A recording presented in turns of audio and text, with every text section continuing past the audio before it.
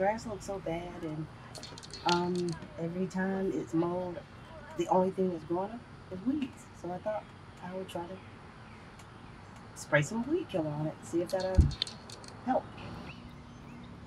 I want the grass to look green and pretty and thick. I feel like your yard is a reflection on you.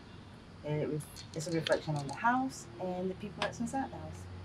So your yard should be pretty. And plus, I like pretty things.